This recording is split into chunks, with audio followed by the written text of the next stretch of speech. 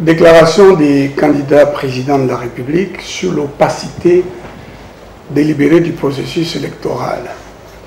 Comme vous le savez, nous avons euh, fait état des faits d'opacité dans notre plainte déposée au parquet général près la Cour de cassation. Nous observons cependant que le procureur général n'a pas encore procédé au devoir de sa charge à cette date. Nous avons aussi fait état des mêmes faits devant le juge constitutionnel pour lui demander de constater les irrégularités et d'ordonner à la CENI de poser les actes euh, qui régularisent les processus, qui les rendent clairs. Nous avons aussi demandé à la Cour constitutionnelle de demander à d'autres acteurs chargés d'exécuter euh, certains actes qui participent ou qui font partie du processus électoral, euh, notamment le ministre des Affaires étrangères et le ministre de l'Intérieur, le vice-premier ministre et ministre de l'Intérieur, le vice-premier ministre et ministre des Affaires étrangères, la Cour constitutionnelle, dont nous avons lu l'arrêt rendu euh, le jeudi euh, de la semaine euh, dernière, dit une chose importante qu'elle va contredire. Elle affirme que le contentieux électoral comprend, bien entendu, le contentieux des candidatures et le contentieux des résultats, mais aussi le contentieux de régularité ou le contentieux d'irrégularité. Et elle affirme qu'elle est juge du contentieux de régularité ex ante. Et elle ajoute qu'elle a un pouvoir de contrôle sur le processus électoral, lequel peut être préventif, et ce, dans le souci de garantir la régularité des élections, notamment en s'assurant de la légalité de la légalité de l'ensemble des actes qui concourent à l'organisation des élections. Bien plus, la Cour a affirmé être, en tant que juridiction faisant partie du pouvoir judiciaire, le garant des libertés individuelles et des droits fondamentaux des citoyens, parmi lesquels figure en bonne place celui d'être électeur et éligible dans les conditions prévues par la loi électorale. Cependant, la Cour constitutionnelle, qui a affirmé sa compétence en allant plus loin, parce qu'elle se fonde pour affirmer sa compétence non seulement sur euh, les dispositions constitutionnelles qui lui confèrent la compétence, qui lui attribuent la compétence, mais elle a aussi euh, appuyer l'affirmation de sa compétence sur sa jurisprudence, notamment le RCONS 0338. Mais elle a omis d'affirmer qu'elle a le pouvoir de réguler la vie politique.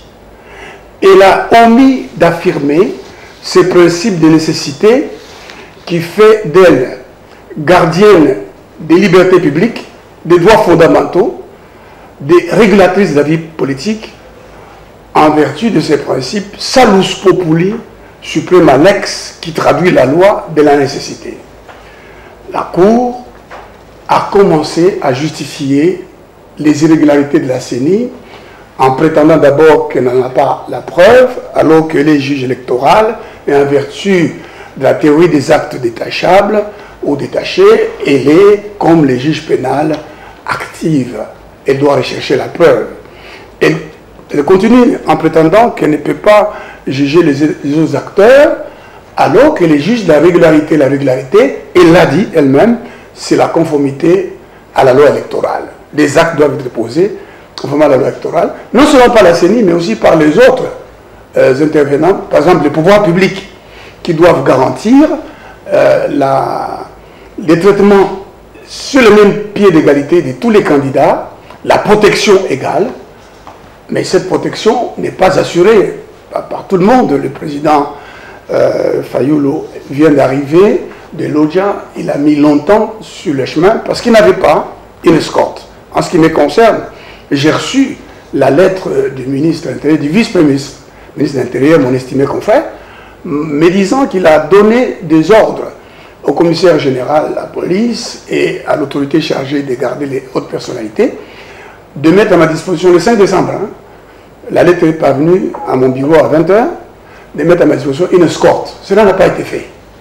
Le processus est émaillé des violences, des violences graves. On a tiré sur un candidat député à Kassindi, il est mort. Il y a des gens qui ont subi des violences de la part d'un candidat qui exerce encore le pouvoir d'État ici à Kinshasa.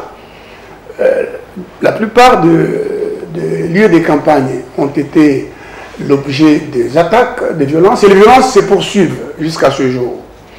Donc, les euh, irrégularités existent, la Cour constitutionnelle, tout en disant non fonder notre requête, a paradoxalement reconnu qu'il y a ces irrégularités. Notamment, elle dit, oui, les monnayages existent, mais c'est une responsabilité qu'engage l'agent de la CENI. Et cependant, l'agent de la CENI a agi en tant qu'organe de, la CENI et engageant la responsabilité de la CENI en termes d'irrégularité.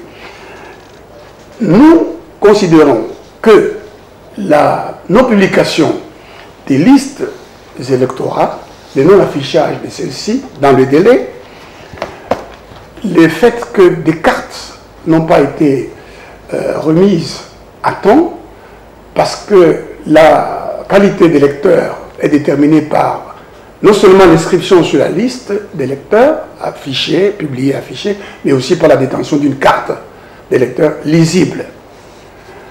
Puisque la CENI a commencé elle-même à reconnaître en disant, voilà, même si vous n'avez pas de carte, venez, euh, nous avons un dispositif qui va vous permettre de voter dans, votre, dans le bureau où vous êtes enrôlé. C'est qu'il y a un problème, il y a une opacité réelle, délibérée. En conséquence, nous appelons la CENI à organiser les élections dans tous les 30 687 centres de vote et dans tous les 71 727 bureaux de vote annoncés dans le respect strict de la loi électorale, faute de quoi les dites élections seront notoirement irrégulières et fausses et ces résultats non acceptables par le peuple congolais qui usera en conséquence de ses droits garantis par la Constitution, notamment par les dispositions de l'article 64 de la Constitution.